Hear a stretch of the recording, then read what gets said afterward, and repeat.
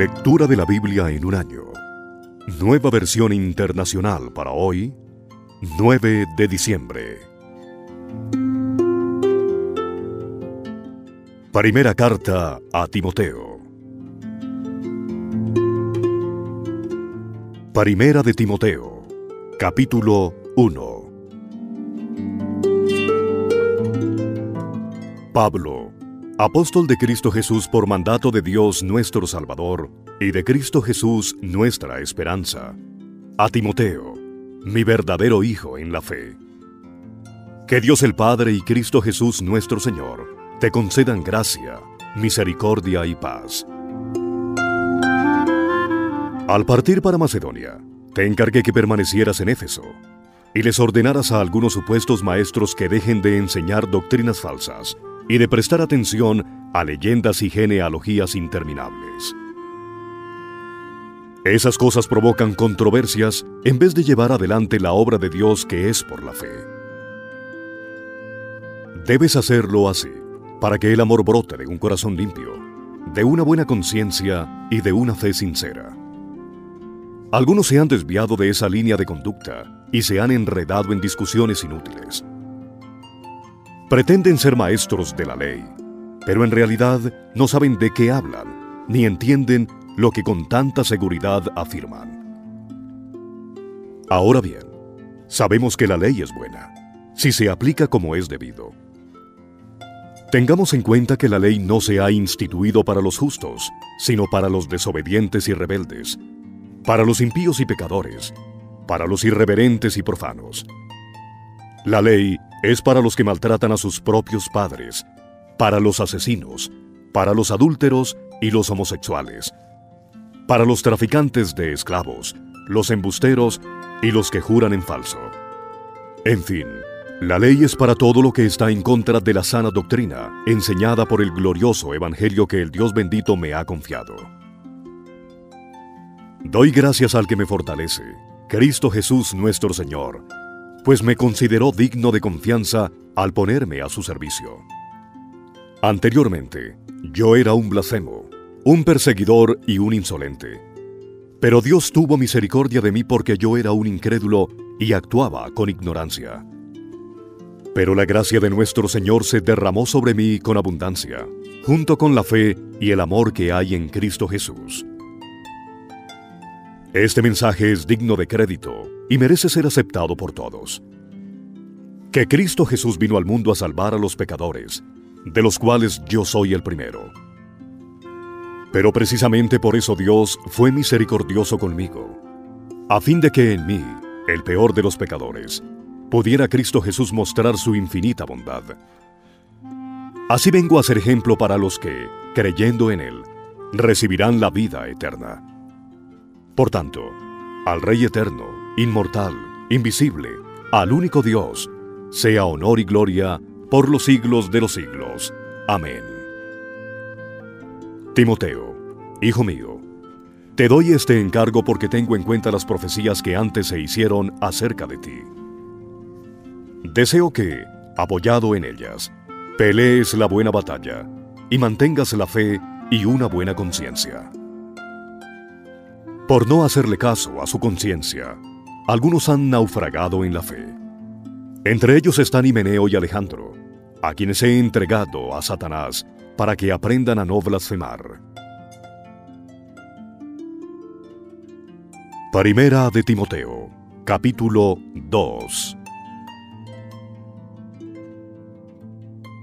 Así que recomiendo, ante todo, que se hagan plegarias, oraciones y súplicas y acciones de gracias por todos, especialmente por los gobernantes y por todas las autoridades, para que tengamos paz y tranquilidad y llevemos una vida piadosa y digna. Esto es bueno y agradable a Dios nuestro Salvador, pues Él quiere que todos sean salvos y lleguen a conocer la verdad. Porque hay un solo Dios y un solo mediador entre Dios y los hombres, Jesucristo hombre, quien dio su vida como rescate por todos. Este testimonio Dios lo ha dado a su debido tiempo, y para proclamarlo me nombró heraldo y apóstol. Digo la verdad y no miento. Dios me hizo maestro de los gentiles para enseñarles la verdadera fe. Quiero pues que en todas partes los hombres levanten las manos al cielo, con pureza de corazón, sin enojos ni contiendas. En cuanto a las mujeres, quiero que ellas se vistan decorosamente, con modestia y recato, sin peinados ostentosos, ni oro, ni perlas, ni vestidos costosos. Que se adornen más bien con buenas obras, como corresponde a mujeres que profesan servir a Dios. La mujer debe aprender con serenidad, con toda sumisión. No permito que la mujer enseñe al hombre y ejerza autoridad sobre él. Debe mantenerse ecuánime, porque primero fue formado Adán y Eva después. Además, no fue Adán el engañado, sino la mujer, y ella, una vez engañada, incurrió en pecado. Pero la mujer se salvará siendo madre y permaneciendo con sensatez en la fe, el amor y la santidad. Primera de Timoteo, capítulo 3 Se dice, y es verdad, que si alguno desea ser obispo, a noble función aspira. Así que el obispo debe ser intachable, esposo de una sola mujer, moderado, sensato, respetable, hospitalario, capaz de enseñar. No debe ser borracho ni pendenciero, ni amigo del dinero, sino amable y apacible. Debe gobernar bien su casa y hacer que sus hijos le obedezcan con el debido respeto. Porque el que no sabe gobernar su propia familia, ¿cómo podrá cuidar de la iglesia de Dios? No debe ser un recién convertido, no sea que se vuelva presuntuoso y caiga en la misma condenación en que cayó el diablo. Se requiere además que hablen bien de él los que no pertenecen a la iglesia, para que no caiga en descrédito y en la trampa del diablo. Los diáconos igualmente deben ser honorables, sinceros, no amigos del mucho vino, ni codiciosos de las ganancias malavidas deben guardar, con una conciencia limpia, las grandes verdades de la fe. Que primero sean puestos a prueba y después, si no hay nada que reprocharles, que sirvan como diáconos.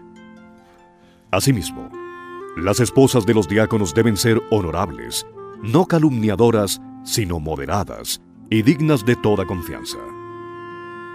El diácono debe ser esposo de una sola mujer y gobernar bien a sus hijos y su propia casa. Los que ejercen bien el diaconado se ganan un lugar de honor y adquieren mayor confianza para hablar de su fe en Cristo Jesús. Aunque espero ir pronto a verte, escribo estas instrucciones para que, si me retraso, sepas cómo hay que portarse en la casa de Dios, que es la iglesia del Dios viviente, columna y fundamento de la verdad. No hay duda de que es grande el misterio de nuestra fe. Él se manifestó como hombre, fue vindicado por el Espíritu, visto por los ángeles, proclamado entre las naciones, creído en el mundo, recibido en la gloria.